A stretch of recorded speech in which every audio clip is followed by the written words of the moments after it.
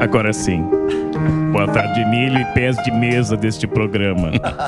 Hoje está um dia tão lindo que acordei, que acordei com vontade de cantar. Não por estar alegre, mas por estar com um belo microfone na boca. A reflexão de hoje é o seguinte: dois pontos, abre aspas, para seguir o português perfeito. É triste amar e não ser correspondido. Por isso, nunca ame o dinheiro, pois ele sempre prefere ficar com outras pessoas, não você. Eterna gratiluz e sigo com minhas palestras maravilhosas em Oslo, Paris e Rolão do Norte, onde eu vou ficar mais tempo. Agora é com você, meu caro Costela.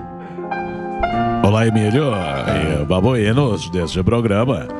Eu fico muito feliz vendo a euforia do amigo Karnal. Obrigado. Quem não gosta de ver um careca pra cima, jorrando felicidade. Parabéns, cabeça de beluga. Obrigado. Vamos ao pensamento do dia. Qual você? O ontem já passou e o amanhã ainda virá. Então deixe de ser burro e evite tomar notoba hoje. Obrigado, ver com, com Darwin. E é com você, meu amigo Bruce Willis.